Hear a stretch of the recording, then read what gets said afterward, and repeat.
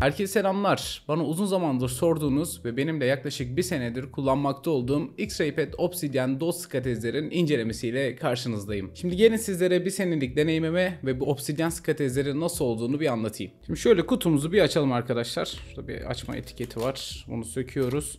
Ondan sonra kolay bir şekilde açıyoruz. Şöyle kutu içinden toplamda 40 tane dot skatez geliyor arkadaşlar. Bunlar haricinde de şu şekilde ıslak mendiller geliyor içinde. Diğer kutuyu da bir açayım. Bunun içerisinde de Pulsar X2H için var arkadaşlar. Bu hazır kalıp bu şekilde geliyor. Şöyle üzerinde bir koruyucu bant var. Bunu çıkardığımızda bakın skatezlerimiz bu şekilde. Bunların da üzerinde şöyle koruyucu bir film var.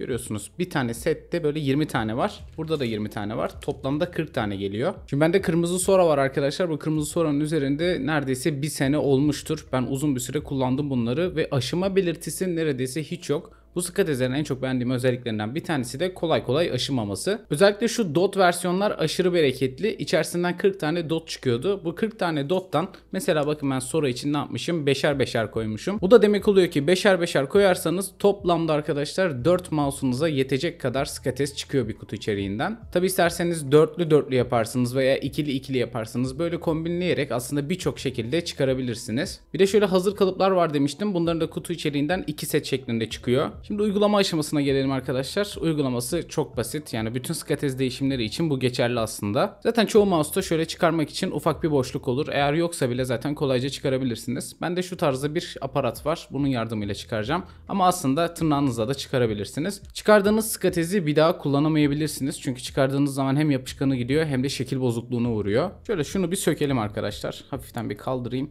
Ondan sonra elimle şöyle çıkarıyorum. Zaten çok kolay bir şekilde çıkıyor. Logitech grubunda bu olay böyle değil. Yani şu skates çıktığı zaman altında şöyle hafif süngerimsi bir yapı oluyor arkadaşlar. Onu da sökmeniz gerekiyor. Yani bu vidalar görünür şekilde sökmeniz gerekiyor. Aynı şekilde şu üst tarafı da bir çıkaralım. Şimdi kutu içeriğinde gelen şu ıslak mendilleri kullanabilirsiniz. Eğer çok kirliyse mouse'unuz özellikle kullanmanızı tavsiye ediyorum. Ha mesela bu çok kirli bir mouse değil. Altında yapışkan izi de bırakmadı. Yani kullanmasam da olurdu ama yine de şöyle bir temizliğini yapalım. Daha sonra kullanacağım skatezleri böyle çıkarıyorum. Şu şekilde. Bunun böyle yapışkanına pek dokunmayın böyle yani yapışkanı bozulmasın diye şöyle tam kalıba oturtacak şekilde uygulamasını yapıyorum. Bunu çok dikkatli şekilde yapmanız gerekiyor çünkü yanlış yapıştırırsanız tekrardan çıkardığınızda kullanılamayacak hale gelebilir. Şöyle yuvasına tam oturacak şekilde iyice oturtuyorum. Bir de şöyle üst tarafı yapıştıralım. Şu şekilde taktım arkadaşlar. Şu sensör tarafını da isterseniz takabilirsiniz ama çok önemli bir parça değil. Ama yine de ben sizin için bunu da bir takayım.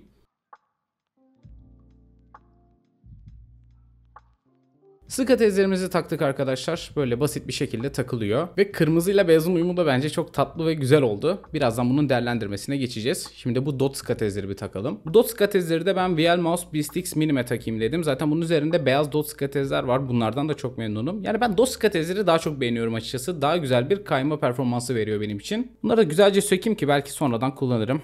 Bakalım nasıl söküldü. Aynen güzel bir şekilde sökebiliyoruz bunları. Yine bunun da alt temizliğini yapalım. Bunda biraz kir oluşmuş mesela. Bunlara hiç gerek yok. Şimdi normalde üzerinde 2-2-4 şeklinde vardı arkadaşlar. Ben buna 4-4-8 yapmak istiyorum. Şöyle bir tane dos skatezimi alıyorum. Yine aynı tarafa. Yani aslında istediğiniz yere yapabilirsiniz. Sadece dengeli olması yeterli.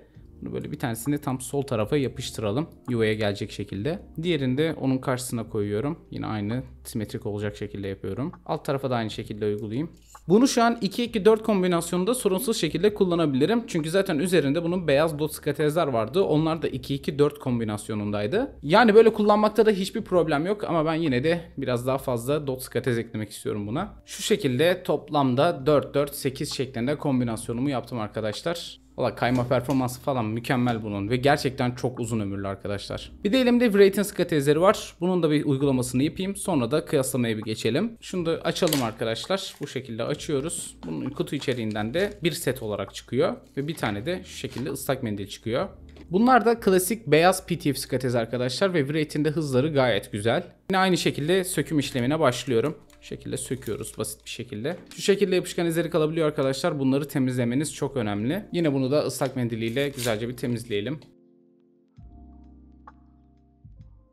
Bunların da altında etiket var arkadaşlar. Bunları söküyoruz ve sonrasında yapıştırma işlemini yapıyoruz. Buraya skatezlerimizi de kolay bir şekilde taktık. Toplamda 15 saniyemi falan almamıştır yani. Skatez adını verdiğimiz şu malzemeler aslında mouse'un performansını etkileyen en önemli unsurlardan bir tanesi. Şu an güncel olarak çoğu mouse kutu içeriğinden güzel bir PTF skatezle beraber çıkıyor. Ama bazı markalar gerçekten çok kötü skatezle beraber piyasaya çıkarıyorlar. Gördüğünüz gibi uygulaması çok basit ama etkisi çok büyük arkadaşlar. Eğer mouse'unuzun kullanımında bir yavaşlama hissediyorsanız öncelikle şöyle bir skatezlerinize bakın. Ne halde, ne kadar iyi bir durumda ona bir bakın. Daha sonrasında ise mousepad'inize bakın arkadaşlar. O da çok önemli. Mousepad'in temizliği de mouse'un kayma performansını çok etkiliyor. Zaten bu ikisinden birine baktığınızda birinde problem göreceksinizdir. Hazır kalıp X-Ray Pad Obsidian skatezlerle X-Ray Pad Obsidian DOS skatezler arasında gerçekten çok büyük fark var. Bu farklardan bir tanesi özellikle sürtünme tarafında. Yüzey alanı çok geniş olduğu için çok daha hızlı kayıyor olarak düşünebilirsiniz. Ama şöyle bir yaptığım zaman arkadaşlar genel olarak bütün skatezlerin sürtündüğünü hissediyorum. DOS skatezlerde durum çok farklı. Zaten bunların biraz daha oval bir yapısı olduğu için tüm skatezler şu şekilde yaptığım zaman hepsi eşit bir şekilde kayıyor. Yani tam kalıplar kötü demiyorum ama dot skatez almak bakın bence çok daha mantıklı. Çünkü bir tam kalıbın içerisinde 2 set çıkıyor ama dot skatezlerin içerisinde toplamda 40 adet dot çıkıyor. Şimdi ne demiştim? Kombinasyonunuza göre değişir ama 4 ila 6 mouse arasında sizlere böyle bir skatez stoğu yapıyor.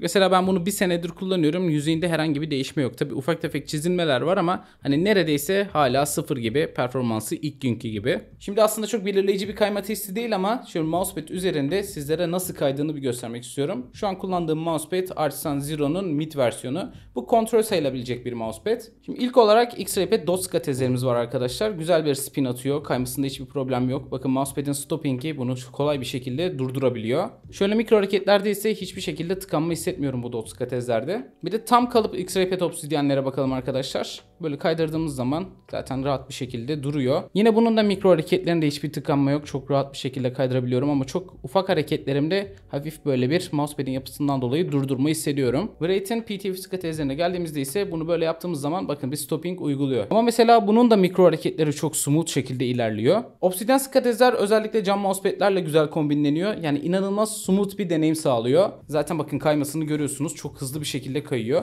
Hani bunun kontrolü de biraz sizin elinizde oluyor. Ama hiçbir şekilde böyle altında tıkanma hissetmiyorsunuz. Tam kalıp X-Ray Pad Obsidian'ler de yine aynı şekilde. Ama bunda biraz daha sürtünme mevcut gibi. Şimdi Doska tezlerde biraz daha oval yapıda olduğu için camlarda çok daha rahat bir kullanım sağlıyor. Ama tam kalıplara bir baktığımız zaman mesela Obsidian'ler biraz daha böyle yani yine hızlı. Ama hani böyle altındaki sürtünmeyi ufaktan hissediyorum. Rating'ler ise yine böyle daha smooth bir şekilde bence tam kalıp Obsidian'lere göre. Özellikle cam yüzey üzerinde. Benim güncel olarak en çok kullandığım mousepad Artisan Shidenkai V2 Mid arkadaşlar. İnanılmaz hızlı ve sert bir yüzeyi var. Tam aslında bu X-Ray pad'ler için. Zaten bu ikisinin kombosu çok iyi oluyor arkadaşlar. Yani inanılmaz hızlı ve istediğim zaman çok rahat bir şekilde durdurma sağlayabiliyorum. Şöyle spin'i görüyorsunuz zaten. Şöyle bir final değerlendirmesine geldiğimizde X-Ray Pad Obsidian skatezlerden ben çok memnunum açıkçası. Zaten dediğim gibi şu Sora'nın üzerinde bir senedir kullanıyorum. Ya hem güzel, çok güzel bir şekilde kayıyor hem de gerçekten uzun ömürlü arkadaşlar ve bir tane kutu içeriğinden yani bütün hayatınız boyunca yetecek kadar skatez çıkmış oluyor. Bir paket X-Ray Pad Obsidian dotların içerisinden şurada gördüğünüz üst raftaki tüm mouse'lara ben skatez yaratabilirim arkadaşlar. İşte öyle bir verimi var aynı zamanda. Ya bir de kırmızı falan olması bence ayrı bir hava katmış. Hoş olmuş yani. Fiyatına geldiğimizde ise şöyle bir paketin 300 TL gibi bir fiyatı var. Ama Svaron indirim kodumu kullanırsanız %11 indirim olmuş oluyor. Şu DOS katezleri alırsanız özellikle yani tüm mouse'larınıza taktığınızı varsayarsak mouse başına tanesi yaklaşık 60 TL'ye falan denk geliyor. Böyle kısa bir video oldu. Yani sizlere daha çok aslında deneyimimi anlatmış oldum. İşte skatez nasıl uygulanır gibi eskiden anlattığım şeyleri tekrardan anlattım. Umarım videoyu beğenmişsinizdir. Umarım video sizlere yardımcı olmuştur arkadaşlar. Kendinize iyi bakın.